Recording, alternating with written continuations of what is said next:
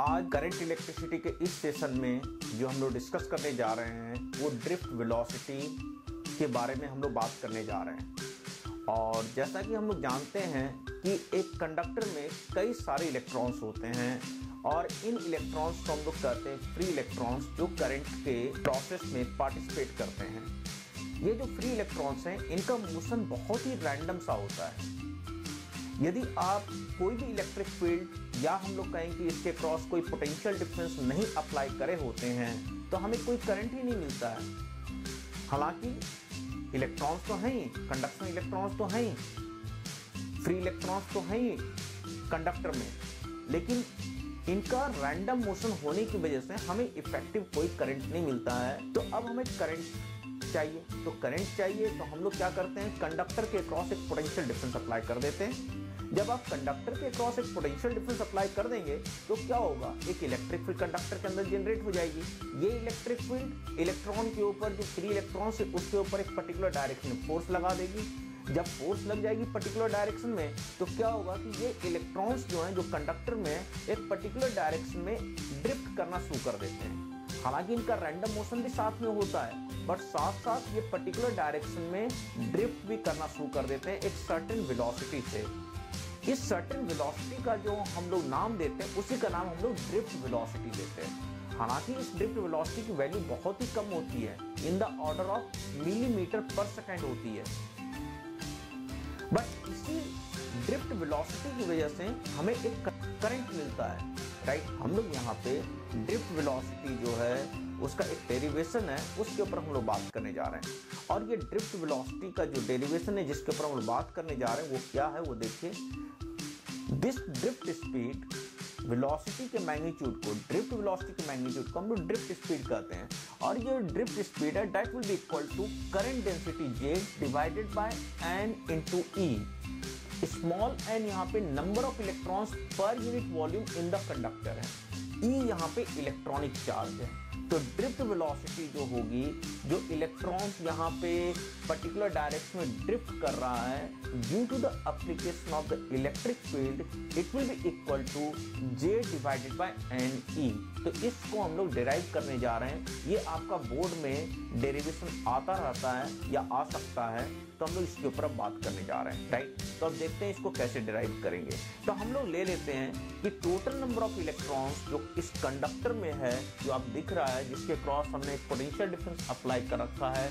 इस, जिसकी वजह से एक इलेक्ट्रिक फ़ील्ड ई जनरेट हो गई है राइट इलेक्ट्रिक फ़ील्ड ई जो है, आप देख रहे हैं राइट डायरेक्शन में है, जिसकी वजह से जो ये इलेक्ट्रॉन है, वो आपका लेफ़्ट डायरेक्शन में ड्रिफ्ट कर रहा है।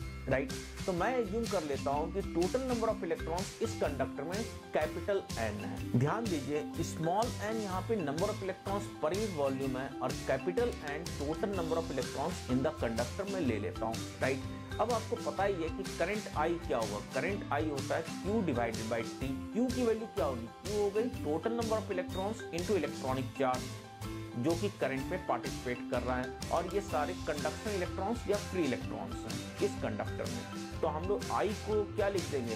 U divided by T that will be equal to total number of electrons into electronic charge divided by T right सबसे पहले मैं ये लिख देता हूँ। जैसा कि अभी हमने डिस्कस किया कि I equal to Q by T लेते हैं। Q हो गया total number of electrons total number of electrons into electronic charge divide by T right अब हम लोग इस टी की वैल्यू निकालते हैं। सपोज़ मैं इस कंडक्टर की लेंथ एल ले लेता हूँ। ठीक है? अब यदि ये इलेक्ट्रॉन इसके अंदर एक कांस्टेंट वेलोसिटी वी से चल रहा है, जिसको हम लोग कहते हैं ड्रिफ्ट वेलोसिटी तो इस लेंथ L को कवर करने में कितना टाइम लगेगा? तो that will be equal to L will be equal to V D into T तो T की वैल्यू किसके इक्वल लिख देंगे? L डिवाइड बाय वी तो इस T की जगह मैं प्लेस कर दूँगा L divide by V equal to L by V की वैल्यू मैं यहाँ प्लेस कर देता हूँ. जब आपने प्लेस कर दिया टी की value L upon V D then the current I will come out and total number of electrons which is participating in the current जो कि फ्री इलेक्ट्रॉन्स हैं e the electronic charge V D is the drift velocity and L is the length of the conductor. तो अब हम लोग इसको current density के term में यदि लिखना चाहते हैं तो दोनों साइड क्रॉस सेक्शनल एरिया जो इस कंडक्टर का है, उससे डिवाइड कर देते हैं। यदि मैं दोनों साइड क्रॉस सेक्शनल एरिया से डिवाइड कर दूँगा तो इस साइड हो जाएगा आई बाई ए और जैसा कि हमें पता है कि आई बाई ए जो होता है करंट डेंसिटी जे के इक्वल होता है राइट तो मैं आई बाई ए को जे लिख दूँगा। और इधर हो जाएगा N divide by A into L A into L, that is the volume of the conductor.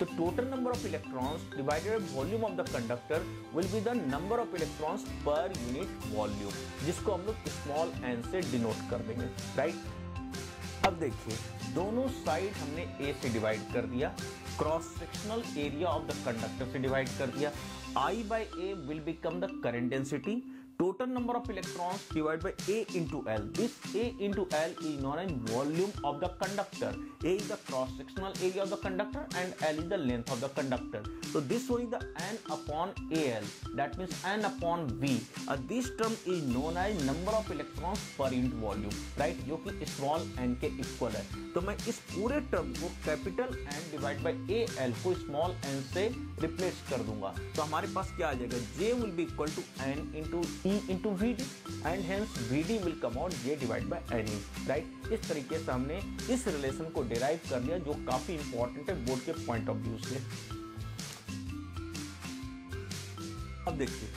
Capital N divide by A L this one the total number of electrons per unit volume जो कि small N है, जिसको हमने small N से replace कर दिया। I by A is known as J तो this relation will come out J equal to n e V D and hence V D will come out J divide by n e तो this is the way to derive the relation drift speed will be equal to current density divided by number of electrons per unit volume into electronic charge.